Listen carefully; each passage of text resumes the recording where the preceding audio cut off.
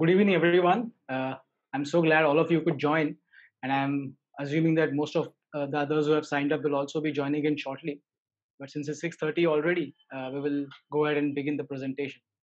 So I really miss meeting you guys in person and uh, interacting with you over a cup of tea. Uh, but this is the way things are going to be for a while, I guess. Uh, so just thought maybe we could you know, create a interactive session on Zoom rather than having to do it in person and i think we actually missed a lot of fof uh, sessions as well. We've been trying to upload stuff whenever we get time. But i think the face-to-face interaction and the fun we used to have at the venue uh, that cannot be replicated very easily.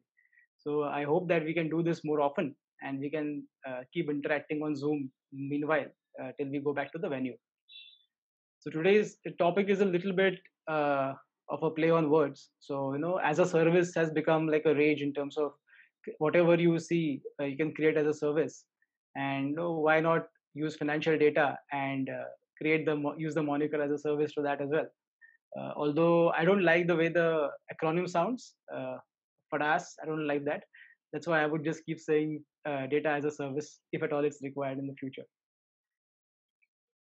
And the genesis of this presentation actually uh, came when i saw the congressional hearing. Uh, although not very interesting thing to watch uh, especially the hours at which, the, which it plays. Uh, in the US, it was the daytime, so it's night here. But I, I, I, was curious, so because we own most of the companies uh, whose CEOs were invited to testify in terms in front of the congressional hearing. Uh, these are the big tech guys, and we know very well that big tech relies a lot on data, and data is like something they uh, really think is, uh, I would say, the raw material for their business to some extent so, for example, Google and Facebook's advertising business use, uses data to target ads uh, to users, which are always relevant and are very precise. I mean, it shows up exactly when you want to do that activity. That's a interesting thing uh, in terms of data usage. Apple has been on the other side. They have been saying that they want privacy uh, and they focus more on user privacy. And data has been something that they want to keep it uh, within Apple's confines rather than using it for targeting advertisements.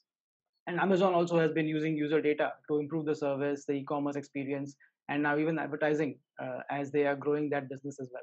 So these these companies clearly uh, revere and uh, find data to be extremely important, and that is something I was intrigued that you know uh, every time we say data is the new, and you know people insert whatever precious resource that they find.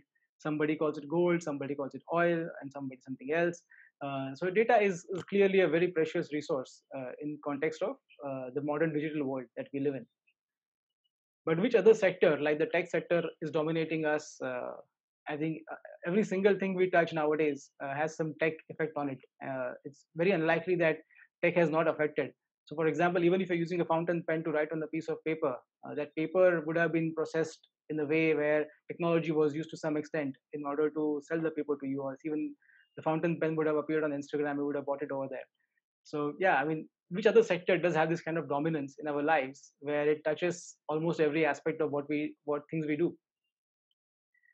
And uh, the answer is finance, right? I mean, uh, most of the people who are FOF members are avid capital market investors as well as uh, capital market followers. They have probably been longer in the capital markets than uh, my entire experience but uh, some of these uh, businesses for us are actually routine day-to-day businesses where we know that these are yeah these are existing platforms we use to transact or buy and sell shares or even get data about businesses.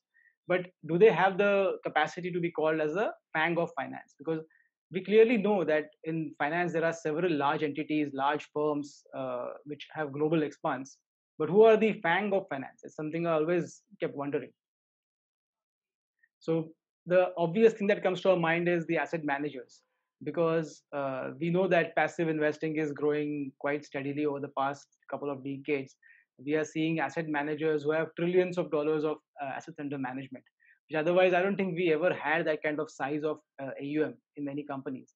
So those names really come to our mind because you know when you see the number trillion, it's actually something where when we felt 100 billion 10 years back, that's a very large number. Maybe we will get used to trillions and we'll probably start thinking of 10 trillion as a large number uh, in the future, hopefully.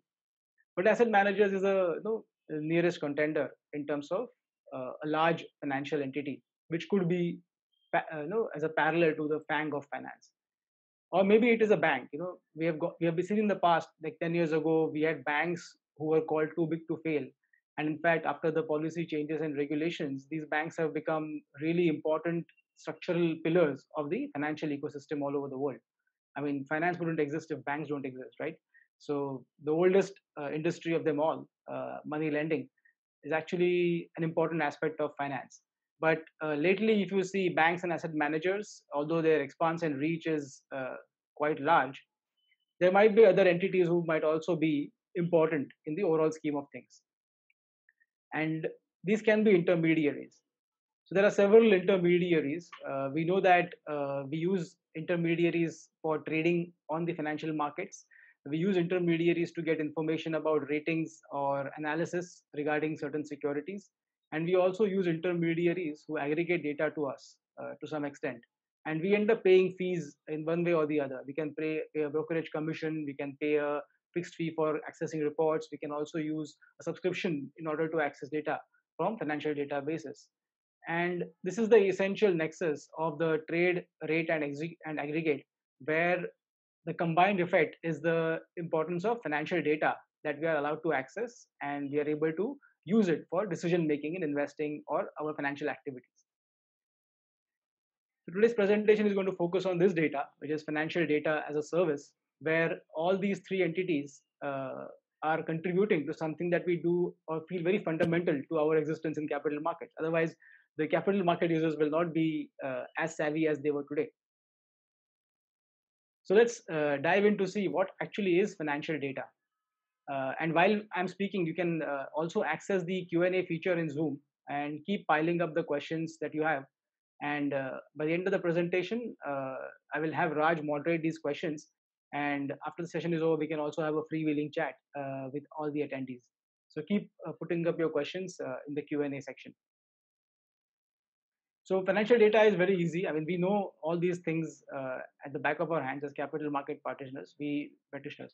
So we know uh, ticker data, which is the real-time stock price or real-time market data, uh, is a very important financial data that we look at because that actually decides a buy and sell transaction at that particular moment.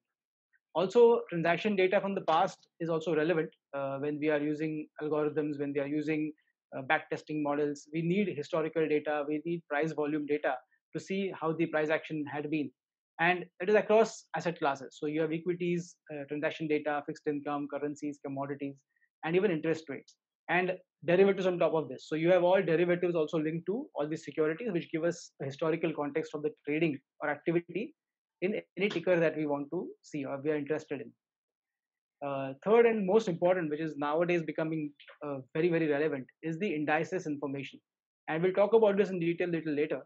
Uh, which also provides uh, some, some form of portfolio analytics uh, if you are a index investor or ETF investor or tools which allow you to manage your portfolio better.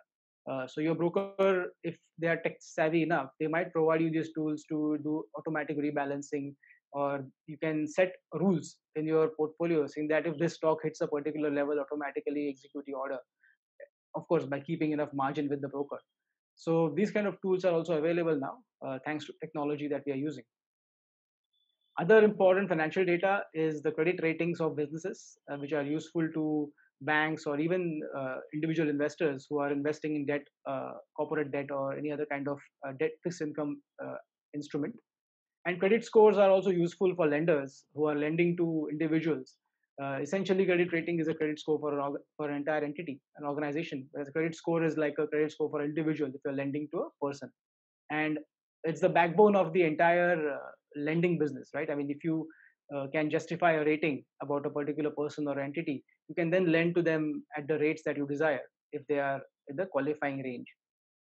Uh, another most important data, uh, financial data, is the uh, regulatory filings of companies, operating metrics, essentially past financial data which the company has reported uh, either to uh, the MCA equivalent all over the world or even to stock exchanges.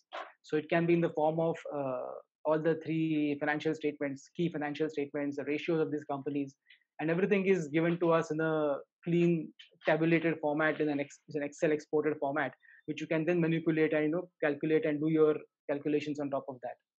So this is something that we have been using as analysts and investors. Uh, I think from the first day we start uh, in the capital markets. and nowadays these data uh, sources are also available for free you have several websites we'll talk about a few names later but you several websites which actually give access to users to all the data of companies going back 10 years 15 years depending on what service you're using. And that's quite revolutionary. The, that kind of democratization did not exist uh, five years ago uh, and it is a recent past five years but still did not exist at that scale as it is available right now.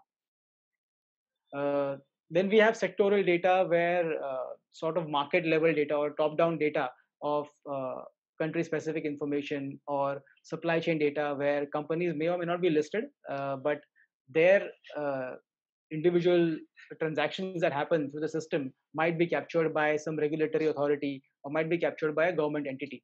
And those can be captured in a systematized database and structured form can be sold to a user. And lastly we have uh, obviously news and social media which also have the ability to impact uh, price volatility and movement in uh, securities that we are tracking and uh, nowadays it is being used in variety of ways uh, with ai and artificial intelligence and analytics to figure out sentiments of what people were actually trying to say what is the zeitgeist what is the noise in the market saying about a certain thing trying to get the emotional pulse of what people are talking about a specific security or idea. So we, this is a variety of financial data which we are uh, used to seeing on a day-to-day basis as market uh, participants I think uh, so. This is a slide I picked up from uh, London Stock Exchange Group's uh, acquisition of Refinitiv. When they announced it, they actually laid out this entire presentation in one single uh, image, and I was impressed by the way it co- covers the entire topic. I mean, if I just had this slide, I could just talk about the entire topic to you guys. Uh, so essentially, London Stock Exchange, one of the oldest stock exchange groups in the world, and uh, they basically call themselves trading venues. You know, where stock exchange activity happens trading activity happens. It can be commodity, fixed income, all sorts of asset classes. So they are trying to combine uh, the trading venue, which creates proprietary multi-asset data, which you can see in the top, with Refinitiv's ability for data and analytics to enable decision making and manage workflows for uh, people who are using these services. Now, uh, clearly, we know that exchange's role is not that. Exchange's role is basically to just be a, uh, transaction venue people can come there and transact and they just need to facilitate that uh, at whatever volume and transaction efficacy that is required. But nowadays exchanges are becoming very bold and they're trying to get into areas where users will uh, essentially use them for other activities as well which generates a additional stream of revenue for them at the same time solidifies some of their dominance in the activities they're operating in. And we'll see how So clearly the trifecta of trade, rate, and aggregate, and this is something which I created. This is not this is not necessarily original, but I just wanted to create a visual image for all of us to remember that these three aspects do control a lot of our financial analysis.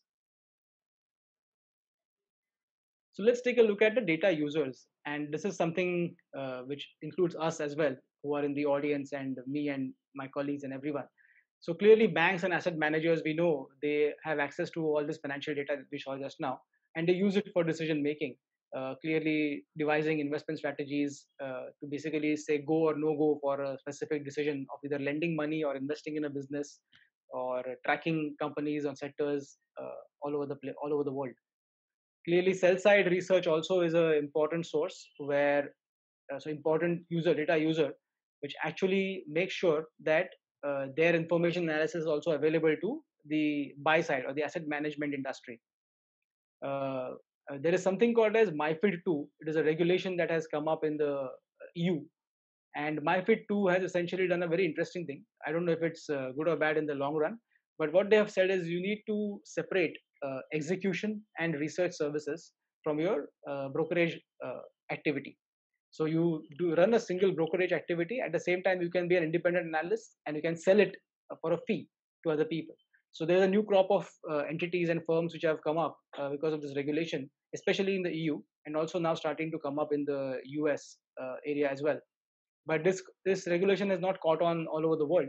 But yet, independent research analysts do exist even now. Even without regulation, they have been existing. But now that it's a regulatory requirement in some cases, people have started up official firms and scaled them up. Uh, and they are also data users. Same amount of data that we are using, they will be using to do their independent research of course in, investment bankers will require to you know uh, advise people on um, M&A activity, to make sure IPO uh, create an IPO market for people, uh, be merchant bankers for companies who are first time coming to the market or even direct listing in the equity markets. So they will also need this information to come up with some sort of a price discovery if their clients require so. Uh, governments is a very interesting uh, data user where right from the local government can be a municipality level government all the way to uh, the state government or the, even the central government they will be uh, data users. Uh, just one second. I think somebody has asked a question. Okay. Yeah. I think please pile up the questions uh, as and when you can. And if raj and rajiv can see something which i am missing or maybe i'm disconnected you can let me know. All right so governments uh, are using data to make decisions about uh, based on macro environment. They can come up with solutions and decision making can be done based on the same data that we are using. Uh, again, corporates is a very interesting category where strategy decisions can be made based on data that they are collecting. And not all sources of data that we know as public investors will be available to us, uh, but corporates will have a different set of data tools, which they might also be using their own network to cultivate their internal databases. So corporates are another interesting category which uh, collect data. Treasury departments might be requiring data uh, for selecting the securities to invest for short term or long term or whatever financial needs that they might have. Essentially, managing the money within a entity or in, in any uh, corporate entity. Uh, another crop of investors or market participants or data users are wealth management advisory firms, which essentially can create portfolios for you, can manage portfolios for you, can even advise you with your existing portfolios, can come up with solutions for you, which otherwise you may not have been able to do on your own because you're not financially savvy enough. And lastly, individual investors, uh, retail investors, who also have access to the same information that most people have, uh, which was not the case uh, a decade back. Now it's become a little bit more democratized, where a lot of uh, granular details are available, and uh, from the least sophisticated to the most sophisticated user can actually make use of data in their own way uh, to come across their investment decision making. I think this is an amazing set of users where uh, I, have in my in my personal career I have not seen so much data access available. Uh, I think some people who are older might also reminisce the times when you need to needed to go to a physical place to get the annual report, uh, or even go to a, a newspaper shop or Raddiwala and you know, collect the used annual reports from there and then read them. So from that, from those days to now being bombarded by information and now having more relevant structured financial information available to everyone is an amazing leap of progress, I would say. But before that, I would just like to address the size of this market, right? I mean, one thing is to know that intermediaries matter a lot, but really how big they can be in terms of revenue potential. So I just went back to the list of uh, what sort of financial data is available. And data providers uh, rank in various categories like you have exchanges you have rating agencies you have payment processors you have index providers you have data aggregators. And if you combine all these entities uh, the annual run rate of revenue was staggering number. So depending on how you count which currency you count in i found it to be 110 to 120 billion dollars of annual revenue run rate. Uh, if you remove payment processing companies from this which is visa mastercard that will be somewhere close to 60 to 70 billion dollars. Uh, but essentially, you have a transaction model as well as a subscription-based model, uh, which generates a total revenue of 120 billion dollars per year. And I think it's a phenomenally large number to really, you know, it's a very large industry, uh, something that was not this big just I think a decade back or even five years back, and has become very large in terms of its importance and dominance in our lives in financial markets also before any questions come about profitability performance uh, i just want to put this slide in front so that everybody is aware that the lowest roc i saw in all these companies was close to 20% the lowest net profit margin i saw was 15% uh, and capital efficiency was uh, varied depending on which geography the company works in what sort of corporate strategy they have in terms of m&a or giving money back but most of them were very capital efficient. You clearly see the lowest ROC is 20%. All of them are really capital efficient. And also, you might be surprised to find some companies which have a negative book value. Now, usually, when we look at negative book value, we always wonder that the company's losses over the years would have been so large that the book value actually has been eroded completely. But in this case, it's totally different. it's because the companies have bought back most of the equity and the book value has been paid out to shareholders and the company is actually capital light it's just running on cash flows and uh, it's an amazing place to be in it's essentially infinite roe if you think about it uh, so yeah don't worry about the negative net worth. You might see it, these companies may not make in your roe filter. That's why i use the roc to make sure that they come in your filters. But phenomenal businesses performance is off the charts. Some companies are at fang level uh, operating margins and cash flow generation. And i find it that's the reason I call these fangs of finance because uh, these kind of characteristics are not very easily seen in financial services companies. So let's take a look at the first part of the uh, trio of data providers. We'll go with the trade and execution bit. So essentially, exchanges are the plumbers of the world of financial markets, right? I mean, they are not just the plumbers. I would say they are also uh, a pumping station because they really uh, know how to pump in the liquidity in the market as well.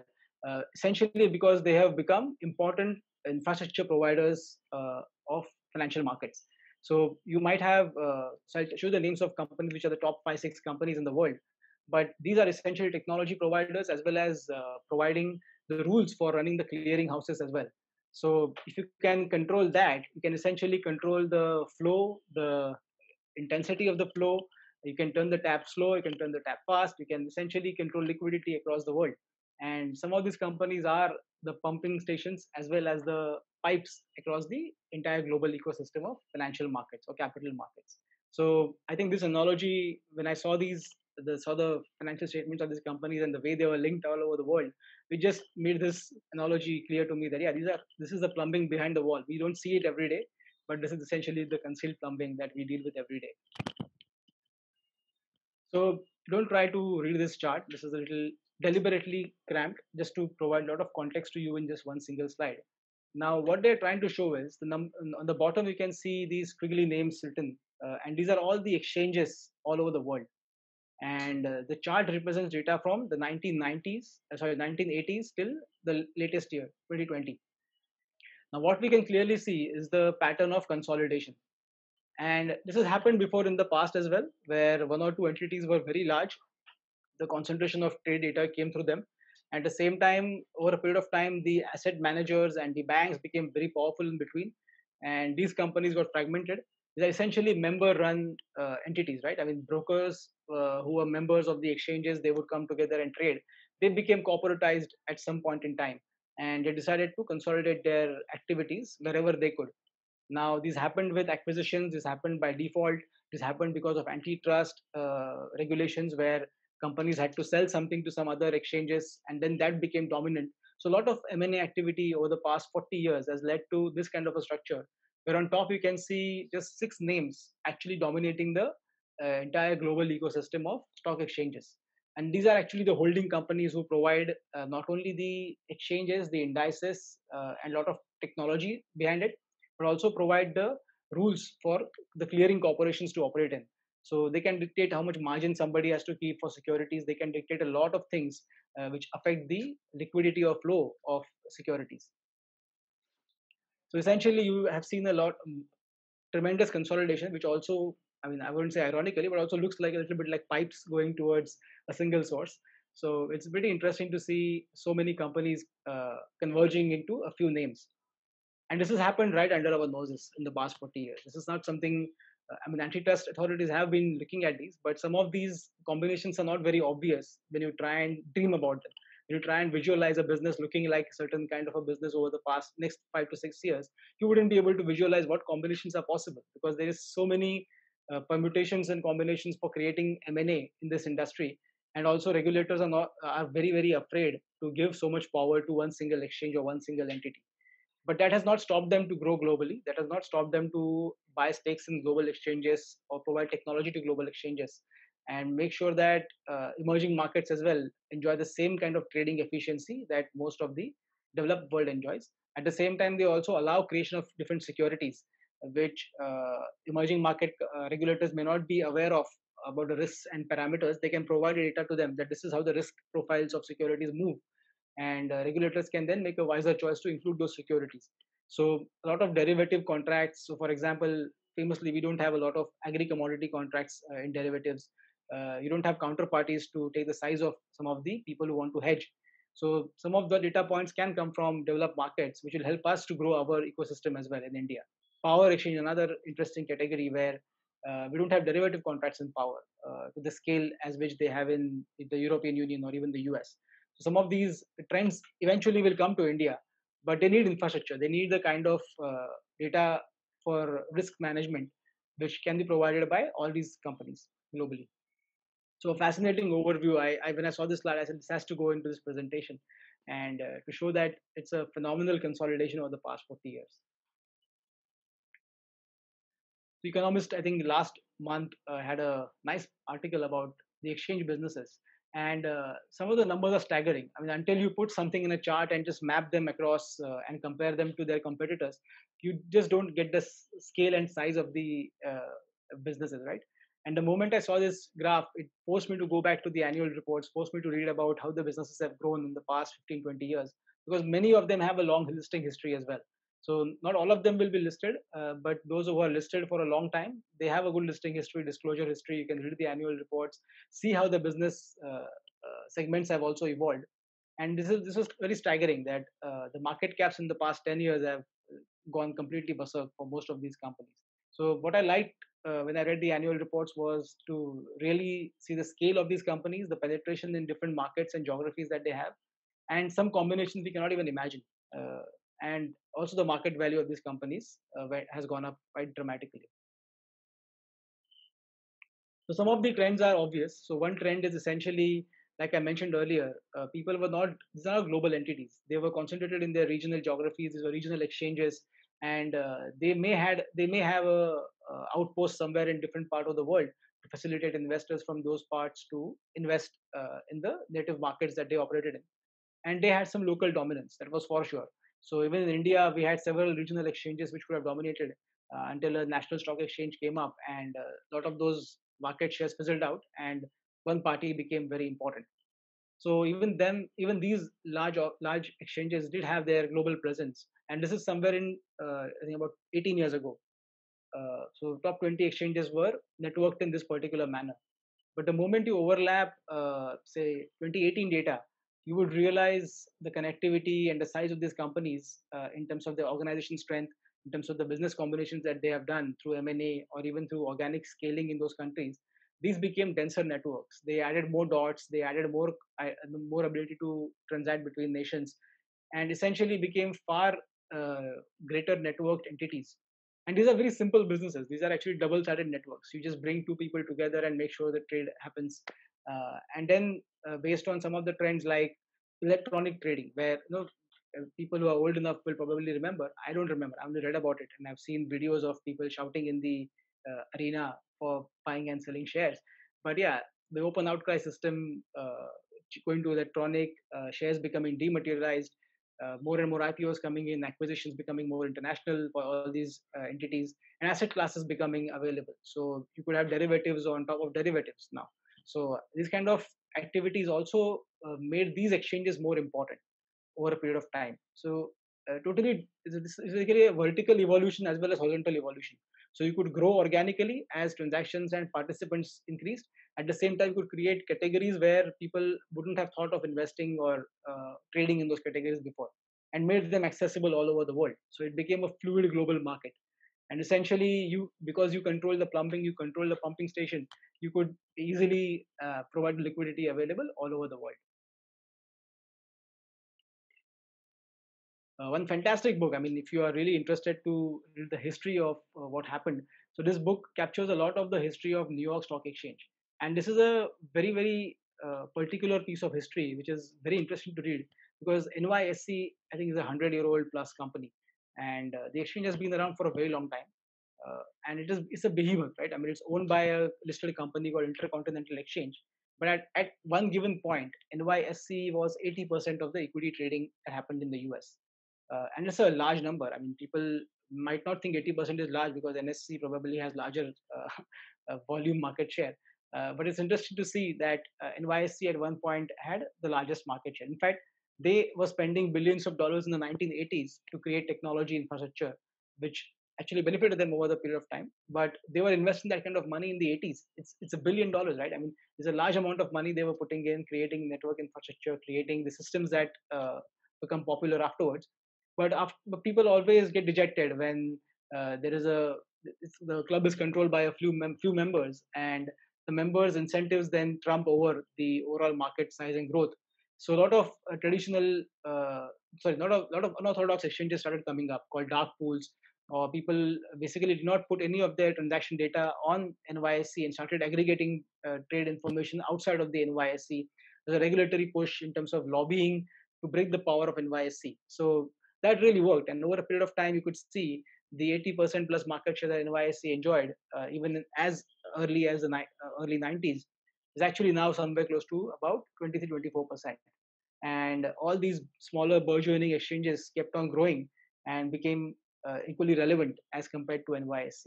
And this is a market evolution. This is what happens when uh, you probably take a monopolistic attitude to an extent where you are unable to provide a competitive service which benefits everybody and you scale on basis of that so essentially, uh, a lot of these other players who came in, they uh, commoditized the service that NYSE was providing in some extent and made sure that it's accessible to everyone rather than only one uh, member controlled group was able to run it. And eventually, NYSE got merged with Euronext, and Euronext and NYSE combination went into ICE. And some of these acquisitions also are interesting. Uh, and if you look at the revenue streams, right? I mean, all these exchanges have transaction as the largest part of their revenue stream but some of them also have uh, data that they provide for maybe for index services, maybe for past transactional data, maybe for traders who or arbitrageurs who want data about price volume. They'll provide it uh, as a package and sell it to people. And there are a large number of institutions and instances where data gets sold on a subscription basis or even on a per trade basis. And these are kind of sources of revenue which never existed for them. So providing technology, access to the market, providing the backend infrastructure, providing the trading execution softwares, uh, right from that to just allowing trading was a huge leap for some of these companies. So they are more technology businesses now than technology driven businesses as they were in the past. And their, their ability to even sell technology to other people or license it to other people is also uh, quite phenomenal. But it's a fantastic book. Do do take some time if you are really interested about the history of capital markets and some of the evolutions of exchanges and how they became so dominant all over the world. Another very, very interesting trend that, uh, of course, we all know about. This is a slide from, uh, I think, the latest uh, Michael Mauboussin uh, paper which he published. Uh, a pretty interesting slide just to show the trend of actively managed, the cumulative flows into US active to passive funds. And this is a trend from 08 till 2019 and of course the graph is indicative that more amount of money has flown into passive uh, asset managers uh, whereas active asset managers have lost a market share in terms of asset management. And we clearly know some of them have become trillions of dollars in size in terms of passive funds. And all of these essentially uh, provide uh, sorry all of these actually depend on something called as the index construction that is required. So any index so for example we know some famous brands, right? Like Sensex, which is the top 30 stocks, or Nifty 50, which is top 50 stocks, or Nifty 500. These are indices managed, controlled by uh, the exchanges. They're essentially designed by them, and they're also maintained, and the calculations will be done by them to make sure that uh, the data is accurately captured. Uh, what stocks can be allowed to go in, can not be allowed to go in, actually is the uh, decision of the uh, person calculating that and you can also make it formula based and you can also have some discretionary metrics on top of that. So uh, not only the ability to um, uh, make the index and keep the calculations running smoothly and accurately uh, you also have a responsibility of creating a brand out of it. So not anybody who wakes up tomorrow can create an exchange and uh, sorry create an index and make it relevant all over the world. So for example s&p uh, 500 and dow jones that is a combination of two businesses. One is S&P uh, Global, which is the parent company of CRISIL, and uh, Dow Jones Indices, which is a company owned by uh, the CME Group, which is Chicago Mercantile Exchange. Uh, these two companies came together and made a joint venture to have this business running called S&P Dow Jones, uh, where they provide index services for. And I think S&P 500 is one of the oldest uh, indices out there. and these, this index essentially is a brand. Now that brand can be used in multiple ways. You can use it, license it to create a product, and which can attract money.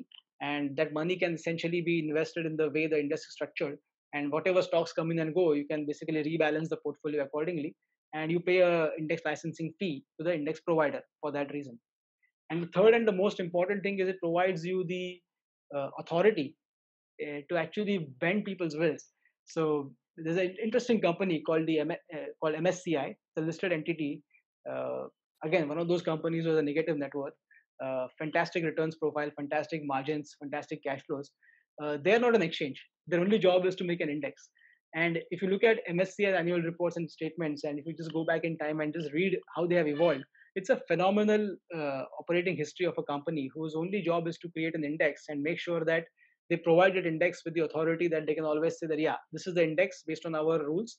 And once it goes to a tipping point uh, of more number of people relying on that index, so, for example, if you are a foreign investor, uh, investor from outside of India, wanting to invest in India, you would want to see which companies in India are part of the emerging market index, which MSCI creates. Uh, and recently, uh, Chinese companies have also been allowed to enter that index, which erstwhile they were not allowed to because uh, there were some terms and conditions of MSCI which Chinese authorities were not allowing to, uh, were not relenting on. And once they relented, actually look at the might. You know, you can bend the will of a country like China, whose regulators can allow uh, exchanges to allow indices to be created with Chinese companies in them, and some concessions will be made by those companies in order to become part of those indices. Similar trend we can see right now is the ESG index investing theme, where you can create a thematic portfolio of ESG companies. Now, the characteristics of uh, where they stand in the ESG hierarchy is now measured by the index provider now it's the index provider's responsibility to make sure they do all the verification that this company meets the criteria for ESG uh, investing index. And now that you get a natural benchmark, right? These companies suddenly become naturally benchmarked to the ESG standards of all over the world. And any investor who wants to have a ESG exposure, they can essentially buy that ETF or an index directly as a asset uh, manager or a investor in any ETF. So the rise of passive funds has been a very important uh, development in the past 10 years to 15 years of uh, not only the index providers but also exchanges who facilitate some of the trading of ETFs on their platforms. So how do they drive the data usage in financial data? Is that firstly you create the index, then you uh, make sure the formula is applied, and you license it out to people who want to use it to get their assets on their behalf essentially it's a rule and formula driven portfolio which uh, doesn't change that often. So that is the whole sanctity of it. Whenever changes happen it's actually quite dramatic but uh, the, the, portfolio remains the same in terms of the calculations and the uh, parameters with which companies are included in that list. Uh, this can also be around some sectors or thematic uh, indices like i mentioned esg as one of them. Uh, there can be there are like variety of thematic indices available out there. In fact some from not so well known entities as well but some of the well-known entities are known to everyone. Uh, you can essentially find a trend that is happening in the industry and create a theme around it. Uh, you market the theme, and the theme itself becomes a, ability to gather assets for those companies. You can build a portfolio out of that theme. It's essentially how a sector fund would be designed by an active manager. But in this case, uh, the rules are already published, and everybody has to adhere to the rules if you want to invest in that theme. And different asset managers can then license that product uh, essentially to create their own fund with that name. Uh, of course, a lot of people are now looking at uh, passive funds as a low cost alternative for diversifying into areas where they don't want to take an active risk or they don't want to rely on the fund manager's ability to pick and choose certain stocks. So, if some investors want to have exposure to the US securities, they might actually just buy the NASDAQ ETF if they want to. Or they can give money to an active manager who invests money into uh, uh international stocks. Also, like I said, these some of the names are exclusive brands in themselves. So this exclusivity and brand building goes hand in hand, and it becomes stronger as more and more people uh, want to use that ETF or want to use that index uh, to invest in that category. So these are clearly uh, some trends which have helped index providers. Uh, some of the index providers are, like I said, completely unorthodox business entities, which we otherwise wouldn't see in the traditional sense. So, I mean, who would have thought that a index provider can become so large as an entity and important as an entity in the overall scheme of things? For example, MSCI, uh, its annual report lists BlackRock as its largest customer. And BlackRock is one of the largest passive fund managers in the world. Uh, and BlackRock essentially is about 10 to 11% of their top line. And it's that kind of a customer. And they rely heavily on MSCI's ability to uh, maintain the sanctity of this index. Now, why couldn't BlackRock do it themselves? Well, they can, and that's the challenge and the competitive uh, intensity in the market. Where if you're an asset manager, create your own index and the own benchmark for uh, managing money. Will that be accepted by investors or not? Will that be violating the mandates of pension funds or other institutional investors? That remains to be seen. But that's a, a burgeoning threat for this industry where large asset managers can then decide, okay, we don't want to go to this player. We will create our own uh, group of indices which can probably be invested by us. But that has not happened at scale yet so it's something we need to see if it happens in the future.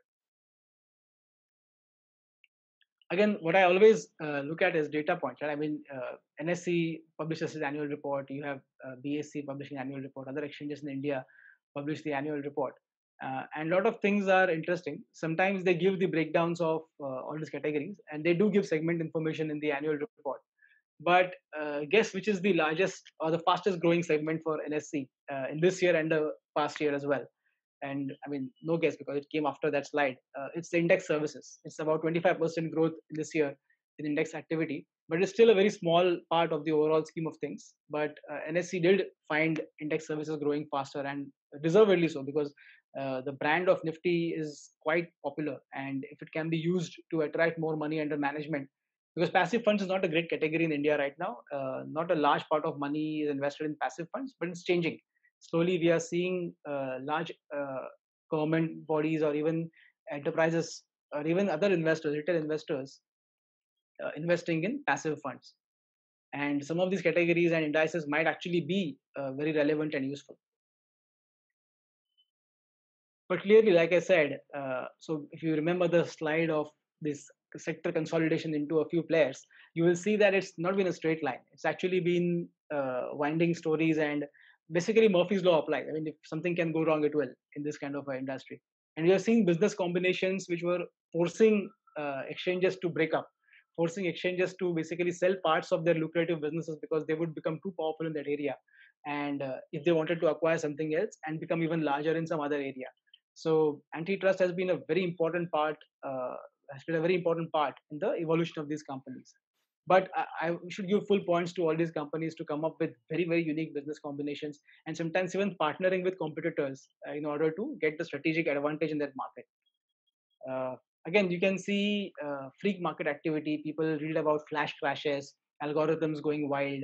Uh, and that is, again, a very interesting aspect of uh, this business where some of these are not tested. Some of these ideas are not fully tested. I mean the risk parameters are known based on past activity. But if somebody does something new somebody comes up with a new strategy which is what the innovation in financial asset management is always people are trying to one up each other based on either technology speed analytics or whatever. I mean there is, an information edge or a analytical edge or a behavioral edge. Either of these three edges can combine in variety of ways to create activity in the market. And sometimes it can be a freak activity. Sometimes it can lead to glitches or flash crashes. Uh, the most important aspect for these exchanges as they become powerful is to maintain their integrity by creating a very highly secured network. I mean, how many times do we hear of uh, companies like Google, Amazon, Facebook getting hacked? I mean, we read about them in the media, but uh, pervasive system level hacks, uh, either they don't, don't get reported as often but if they're happening they're happening at levels which get mitigated immediately so that uh, the information was released.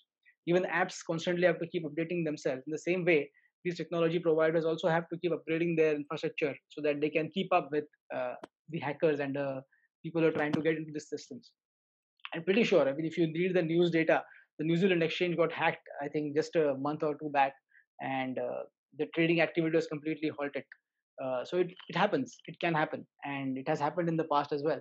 So it's a very very important thing for them to uh, put their foot down and say that okay, we will invest in technology to make sure we won't get hacked uh, and the integrity of the markets won't be affected because of our lack of security. Now imagine if you are in a country where uh, if you are in a cyber war with another country everything is game everything is fair. You either attack a power grid you either attack a, stock market infrastructure you can attack anything. So all these are fair game for uh, a scenario like a war within countries.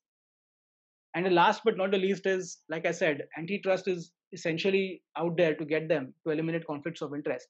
But some of these conflicts of interests actually are very difficult to pinpoint also. There are gray areas where you might say that, okay, uh, why does this particular company get a reason, get a chance to be in the index uh, and then benefit from the allocation that index providers will give that stock or a particular company?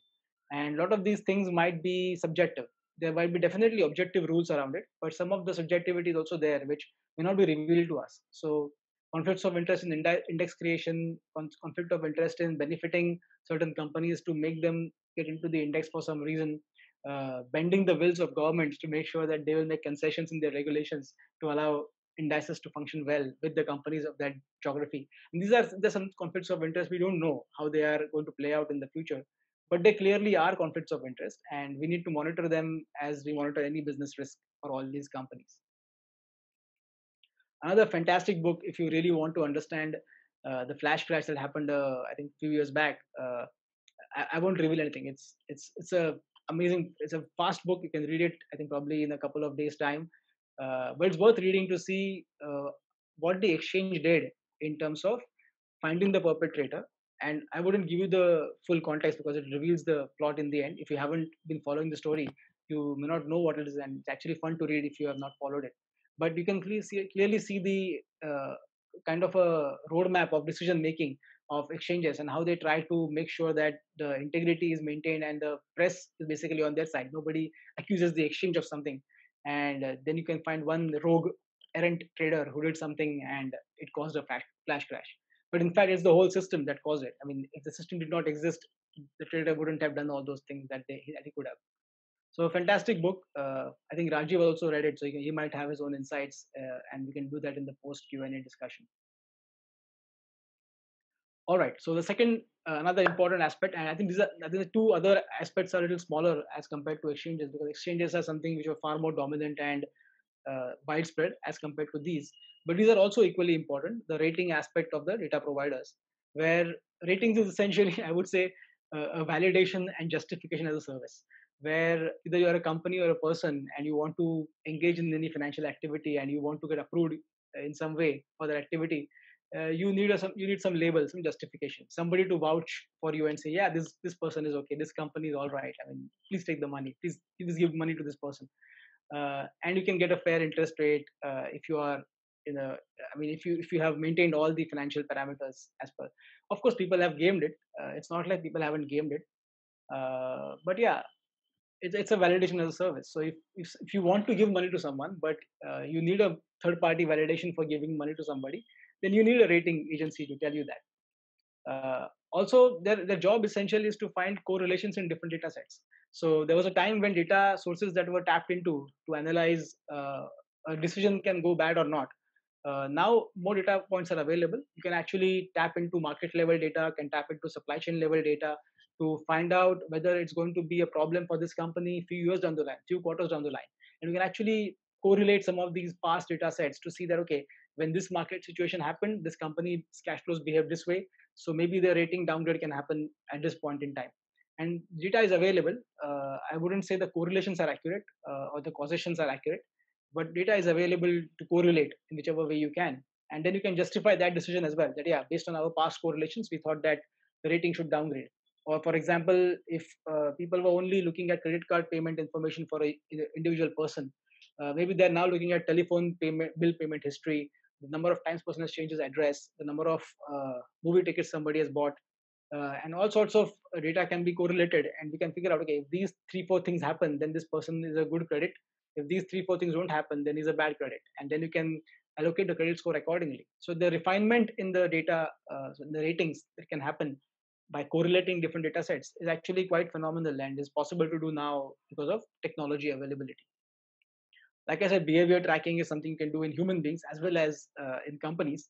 Uh, in human beings, it has actually gone to intrusive levels where most of the banking apps anyway have access to our uh, SMSs and phone conversations in terms of the phone logs uh, and also location data. So you can track exactly everything that has happened in a particular location. So if you are standing next to a mall or in the location says you're in the mall, and uh, the SMS says that you've spent on credit card to buy an ice cream, then yeah, you at this point in time you bought an ice cream. The data point for the bank to analyze whether you're good credit or bad credit, and they can basically do their own analysis on top of the credit score that you're getting. All this basically is to uh, create accuracy in the predictions. Of course, nobody can predict accurately, but if you have uh, some sort of understanding of what has happened in the past and as granular as possible, you don't know what correlations it might throw out. So sometimes a machine can throw out certain combinations of correlations which you don't know were possible for a human to imagine. And that can probably increase accuracy of predictions at some point in time, or also unfairly, uh, you know, derate somebody who otherwise was going to be good credit going ahead. But in the past, if you've seen, most of these things were actually transaction oriented, and they still are to some extent. So you need uh, more borrowing, you need more uh, papers to come out in terms of the credit fixed income market in order to be rated. You, you need more people to borrow money at more frequency so that the ratings organic volume keeps growing. So it has been a transaction oriented business, and over a period of the past 30, 40 years, these have actually become global scale companies where uh, they have local subsidiaries which are also dominant in that geography. So we have CRISIL in India is actually the most dominant rating agency in our country. You have Standard and sorry, you have Moody's subsidiary ICRA, also dominant player, number uh, formidable number two player. And the same thing happens in all sorts of uh, geographies as well. Another interesting development for ratings has happened now is the Chinese market has opened up for uh, review of their fixed income securities and their securities. So that is another source of revenue which might come in. Albeit the volume of securities is so large that uh, they may not be able to make the same amount of money, but the systems have already been designed. The investment has already happened. All they have to do is implement and apply. And let's see how that uh, next stage of growth for these companies grow go uh, in a different market, which they have not operated at the same scale yet. But the whole job has to uh, basically, like I said, find data sources, disparate data sources, and combine them into a cohesive report or generate ability. And it, it's much more like the job of the matrix operator, right, in the movie, where he could see all sorts of details happening and then come up with a decision and then recommend something to people who are actually in the matrix. So people, the financial uh, data users are in the matrix. We are actually executing trades and making decisions of financial uh, importance to us. And data can be provided from various sources. So now, as they were doing that job anyway, they were data providers by design as well. So they were internally curating these sources for themselves. Uh, at one point in time, most of them decided that, yeah, let's put this as a uh, user uh, interface and let people tap into this. And you can have different segmentation. And I mean, if, if you go to these websites and see if you can actually subscribe to a service, you will not find the pricing data anywhere. You will find very, very vague management sounding words, uh, which are mentioned there. Uh, and essentially, you will have information inside, but it, there is a way to ask for more money from you. So you have to negotiate very hard in order to uh, get access to the information that they have. And some of the natural extension of services was to provide company financial data. Anyway, the models are built by them for their analysts to rate and review. These models can be found in one place and they can be given as a database to you. So in India, we have used ACE Analyzer or Capital Line or even Screener.in or Money Control as data financial data providers now. But at any point in time, if you want to go back 20 years, the data will be always compiled by these people and they can provide an Excel sheet to you if you ever demanded it. So they interestingly also have public database and private database as well. So we may have listed companies in the range of uh, I think four to five thousand, but private database might be much larger, uh, where companies of even smaller sizes to mid-sized to large size not listed yet, their data will be available to use by users. Again, corporate filings can be mapped and kept in one place. Uh, nowadays, you can find con call transcripts and everything very easily at one point in time they were not available. Uh, you had to actually go to the company if they had if you're lucky they would have recorded the audio then they might send you the audio reluctantly. In fact it was not a mandatory data point to use. But now as investor relations has become a booming industry that has become a requirement for everyone. And they're uh, curating this as well. Uh, we can also like i said integrate data from different sources like supply chain data can be put in over there and provide a lot of operating metrics for uh, data users in the context that they require. So somebody might require a supply chain analysis of a company they're tracking, and they might be able to tap into a service that is already capturing that internally, but pay an additional subscription to be part of that uh, access that is provided to them. Again, we can we, we have seen multi-class, multi-asset class services. So you can track commodities, you can track equities, fixed income, uh, interest rates, everything through these uh, data providers, and you can also track index. You can get index services from it. So SPGI, which is the parent company of CRISIL, uh, S&P Global Incorporated, that company provides the S&P uh, 500 and Dow Jones along with CME Group. So the index services also have become an important part of that business. Of course, you can create analytics business on top of that, do some fancy machine learning, and you know sell it as a analytics portfolio, you can also uh, get data from the customers and say that we will analyze it for you based on our proprietary algorithms, uh, and you can become a consultant of sorts uh, to many of the providers. Of course, these are the these are things that even some of the uh, big four audit firms also provide now in terms of management consulting and business consulting, strategic consulting. But these companies are having the tools which they use internally as well, and they have a better reputation, I would say, to provide data to people. Uh, essentially, they act like a flashlight in a dark room. Uh, and I would like to give an example of a company which S&P uh, Group acquired called Panjiva. It essentially tracks supply chains all over the world by tracking the government port data that happens. So any import-export activity that happens on all ports gets mapped into some ministry of uh, uh, economic activity is mapped over there, and that data is downloaded by these guys and analyzed. And then you have all these uh, financial data that comes from their banking relations or the corporates who are uh, basically getting rated by them will also provide this information that yeah look at this data of the bill of lading or whatever uh, that we that it shows that we have sold this inventory to somebody and it's going there and that's why we need to raise money and that's why you should rate us. So all this data can get combined into one single source.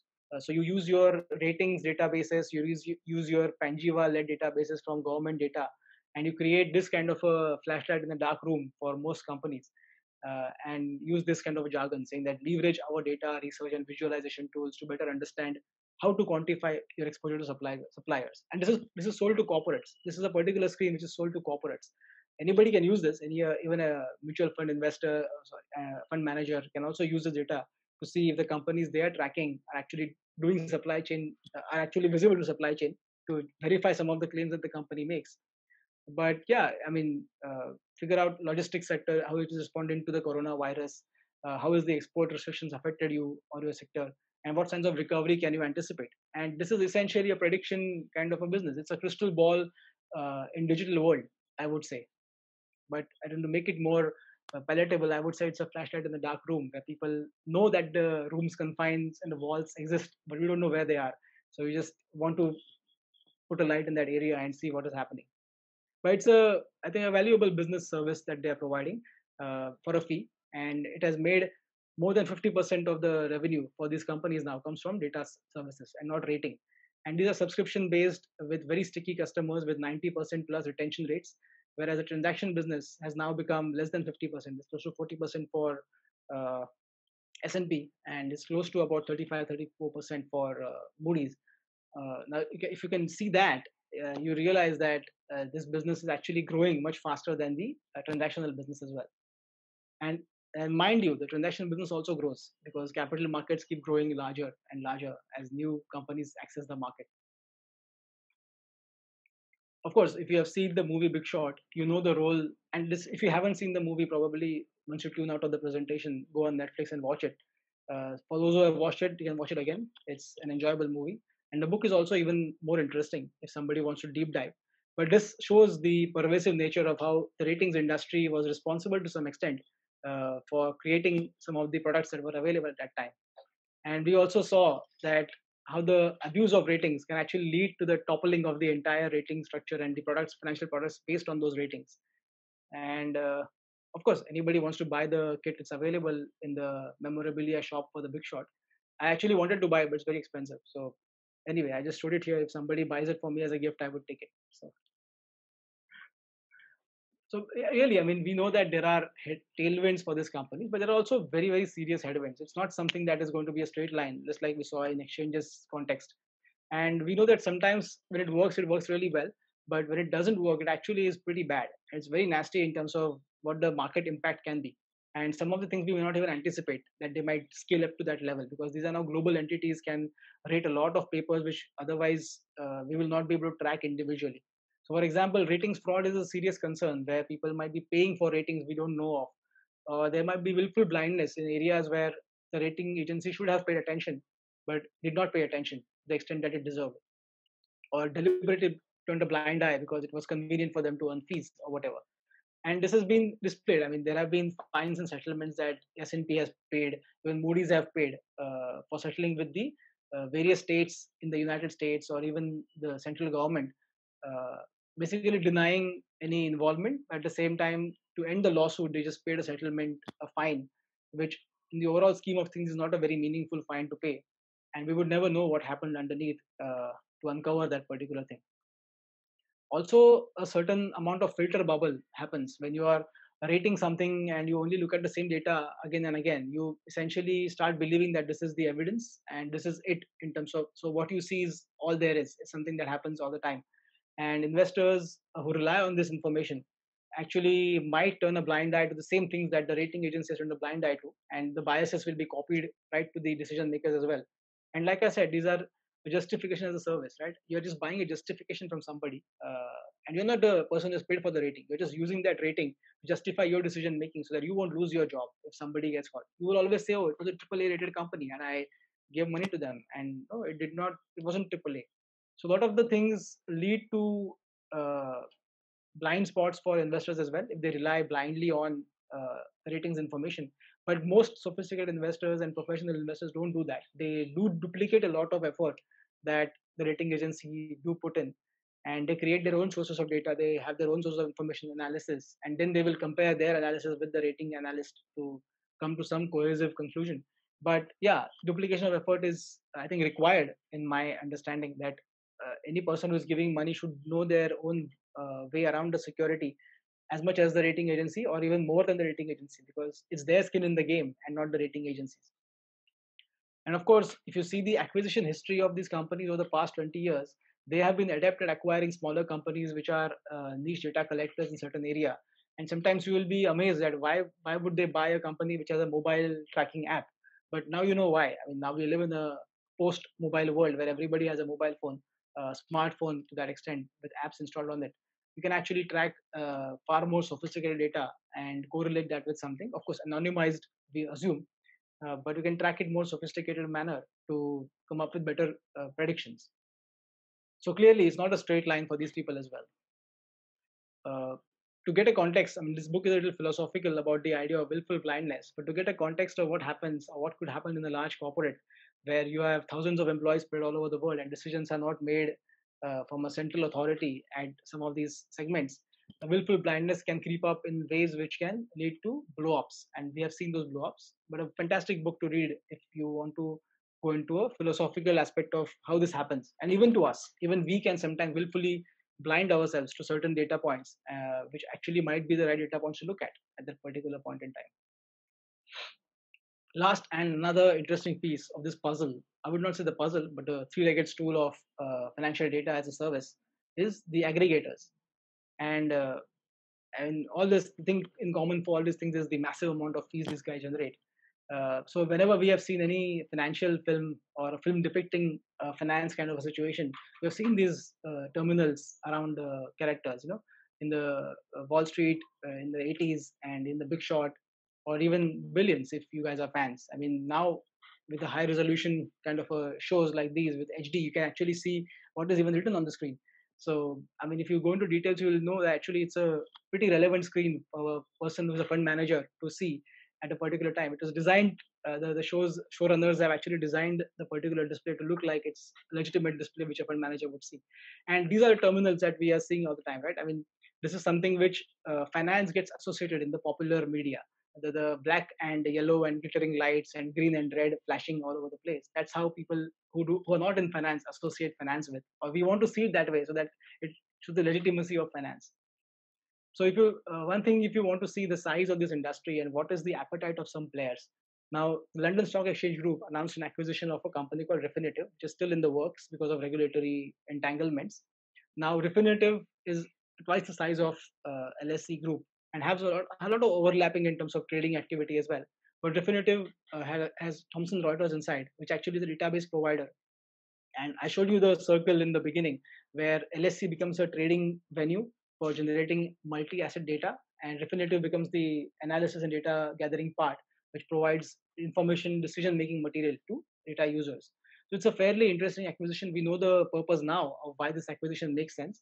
Uh, but the appetites are actually massive when companies can raise money and uh, commit so much capital to do these kind of deals. And also regulatory capital. You're actually relinquishing some of your price possessions in the past where you had the highest market share in some business. But you have to relinquish that in order to provide uh, the, the space for Refinitiv to be fit into it without uh, raising any antitrust alarms. And if you just see the market size, I mean, I was amazed when I actually found the numbers. So Bloomberg is not listed, so these are estimates.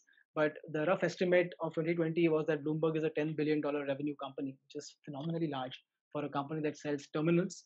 Uh, most individual users may not even use them ever in their life, uh, but most financial institutions at least have one terminal uh, with them.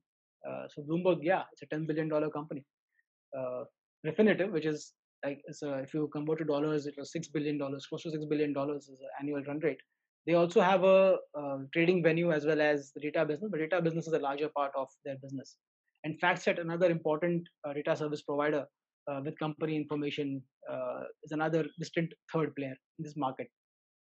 Among these three of them, Refinitiv will be having a quarter of the market share. Bloomberg will have under 30% market share.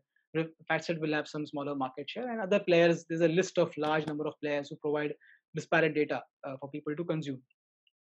So yeah, it's a fairly large industry, and uh, run rate of this rate, and even growing terminals, uh, terminal installations year over year, and retaining the past terminals because these are becoming furniture in people's uh, offices, right? I mean, nobody will imagine not working with a Bloomberg if they are embedded completely in the workflow of Bloomberg. They may really have to uproot each and every process and unbundle it in a very painful manner. So that is what leads to, uh, in this industry, the Bloomberg envy, where Bloomberg has successfully bundled a lot of lucrative services into one, and of course, Refinitiv as well, uh, FactSet as well. And now, uh, because the data has been democratized to such a large extent, providers are willing to create tiered uh, plans for individual users to use, or even a small group of users to use, or create APIs so that if you are a software developer in this space, or data aggregator space, you can actually tap into the pre-built APIs and you can create your own dashboards uh, with that data that you're getting from these players. So you're getting a Bloomberg-like service, but actually a Bloomberg Light service. It's not at the cost of Bloomberg, but you'll get a similar kind of power in terms of what data you're able to access. Uh, of course, you can combine different sources and create a more simplified user interface. So if you've seen Ace Equity, Capital, and in the past, it's slightly dense and complex. But uh, websites like Ticker or Koyfin or even RateStar, Trendlyne, RateStar is again made by Ace Analyzer Group only. Uh, Trendlyne is an independent player. Screener is again an independent player. And they created their own interfaces, and there are huge fan following for these interfaces now. Nobody wants to move out of these, and that's why these become more and more useful over a period of time. Another important piece that is getting unbundled and has been unbundled for a while for larger institutions is the order management systems and the uh, trade execution systems. Uh, so if you have a trade management system as part of Bloomberg, then you everybody in the trading uh, supply chain in the company needs to have that uh, Bloomberg access. Uh, but most companies don't want to buy such expensive terminals. So one terminal costs about twenty-five thousand dollars uh, per year. It's crazy. Uh, yeah, but yeah, you can get these services as well. now unbundling has been happening for a long time. It's not something new again portfolio tracking analytics becomes very easy because they are linked to all the company data in the past and you can you know, get live analytics and dashboards which saves a lot of time for a fund manager to look at data immediately and make decisions on the fly. So essentially reducing the time providing the convenience of everything big and terminal and then the and charging the $24000 uh, label for a customer. So what is now happening is to separate all these specialized services into going into special specialists in that area who provide one part of the data but because of the technology that they're using the deployment has become cheaper. Uh, so they can sell it at a cheaper price point. So from specialized services which, are, which, are, actually more preferred now than the bundled mediocrity of some of these uh, larger platforms. And of course you know who, who wouldn't prefer a cheaper uh, access to all the database that you can?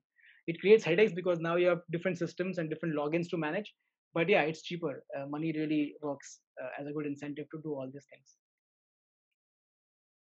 and in this presentation, I willfully ignored uh, an interesting sector which is actually facing one of its existential challenges, I would say, is the payment processing industry, whose transaction data streams are the largest in the world. Uh, every single credit card swipe or online credit card usage or debit card usage goes through these systems. These are feats of engineering. It's amazing how they operate and stay up all the time. Uh, and plug in all the infrastructure together. You can actually spend money in Europe right now on your credit card, and it will all be processed properly, and everything will be sorted in the moment's time for you as a user. The order will be fulfilled. Uh, but on the back end, they might take a couple of days, different merchant fees, and all sorts of regulatory infrastructure has to be stepped over to make these things work. of course, the be- best thing that they could do was behavior prediction services, but I don't think they provided them the service. Maybe I'm not aware. Uh, again, it essentially provides a map of the capacity to borrow of a person uh, in his financial journey, and that gives you the data, data points that a credit score company might require, a lender might require, and these are something that they can provide very easily. What is happening now is the peer-to-peer payment uh, movement all over the world. So China has moved on to peer-to-peer. India is moving because of UPI uh, quite rapidly. I would say everybody nowadays uses UPI. I'm just amazed. Even a vegetable went on the street can now have a QR code uh, printed and kept in between the vegetable tokri somewhere, and you can scan it when you buy vegetables. It's amazing. So this is actually the fintech uh, disruption of these industries, and this is something I would I'm keenly watching as to see what happens to the collective 40 billion dollar revenue of payment processing gateways all over the world. All right, in conclusion, let's say long live data. And what is uh, now more interesting to track after this is data generation capacity, right? Everything that I'm saying right now will go on YouTube on our channel, and YouTube's algorithms will basically do natural language processing uh, script on that, and they will piece it together as keywords. So if anybody searches for uh, financial data as a service, this presentation will pop up in all the search results if they are looking at something relevant. So imagine happening happening automate uh, happening uh, sorry everything happening at an automated level where no human is required to actually connect all these dots. The machines will know what exactly to connect because natural languages are processed now at real time speeds. Uh, data tracking also improves because more data becomes available. You can see now the Indian government is creating dashboards for tracking data of various sectors and industries. So you can go to the ministry's website say go to a cached page five years ago and go to the same page today. You will see a lot of different data uh, which is available on the ministry's website as well. Although it's difficult to find but yeah it's there. The new data comes up in uh, more and more representative ways.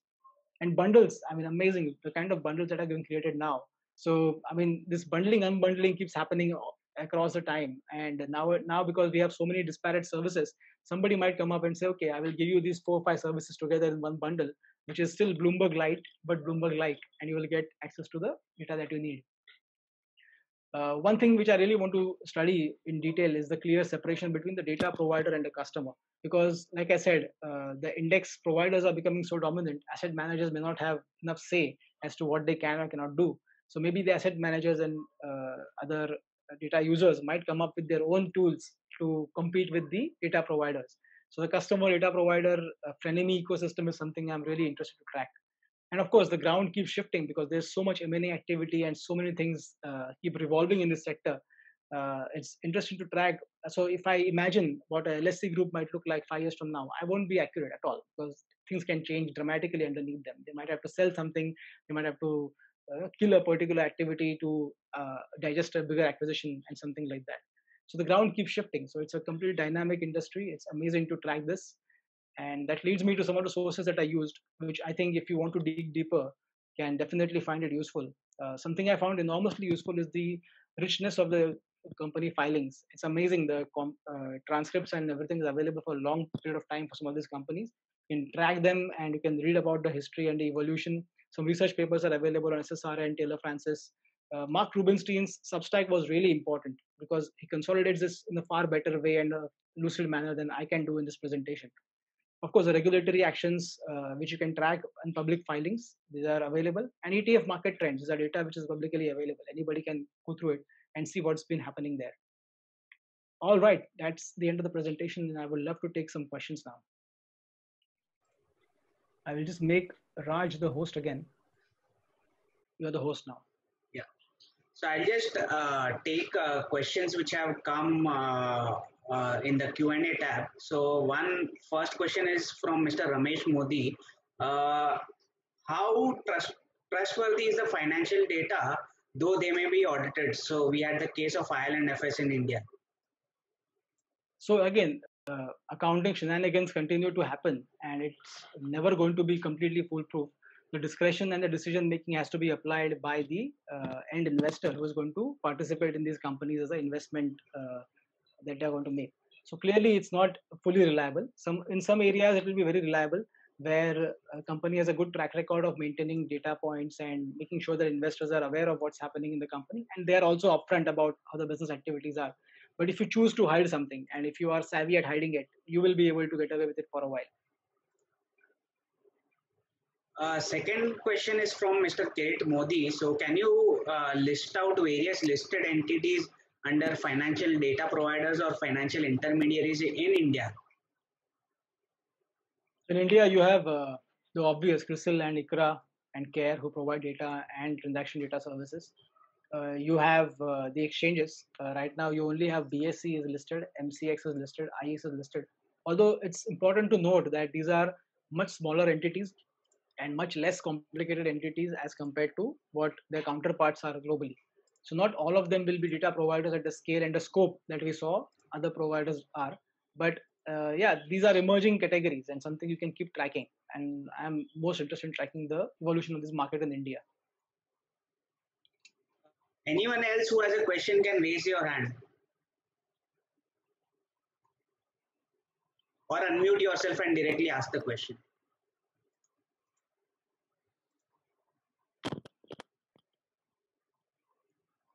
either the presentation was very easy to understand or very complicated that no questions are coming up but yeah this is a fluid topic and i'm going to be tracking these data points very closely so we can always discuss this when we meet or interact afterwards uh, cool. If there are no further questions. I think i will end the recording at least and we can then chat amongst ourselves. If there is in chat somebody asked a question raj. Uh, okay uh, in the chat there's a question uh, will data storage be a big business? It already is. So, uh, I mean, data storage, when it, it comes to the technology realm now, where uh, cloud computing providers are actually becoming the data providers for many of these entities. And uh, a lot of these exchanges also, so regulatory requirements don't allow you to use cloud, public cloud, to store data of transactions and everything else. So they are also data centers of their own. So they will probably recruit some of the technology system integrators and build data centers of their own and manage their own infrastructure themselves whereas some of the user facing interfaces can be created using the public cloud and uh, data is actually uh, stored across the public cloud as well as the private cloud in, the way that it can be regulatorily allowed to access at the same time data breaches can be avoided so it's a very large business and cloud computing providers are uh, largest technology providers for financial services companies I think that ends the Q&A session. We can have a free conversation now.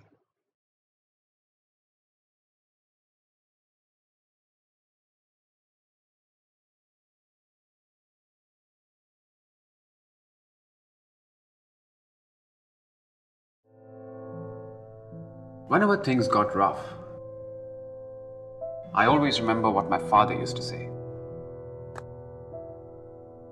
Running a business does test a man, my son. There are ups and downs, glorious highs, and sometimes a low that leaves you feeling defeated. The character of a man and the character of a business are not very different, are they? Yes. But when the chips are down, we must stand up, dust ourselves off, and motor on.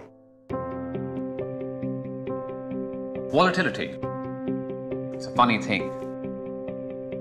It makes you question yourself and wonder if you've made all the right decisions. Sure, you can question some of your decisions, but stay steadfast on your goals.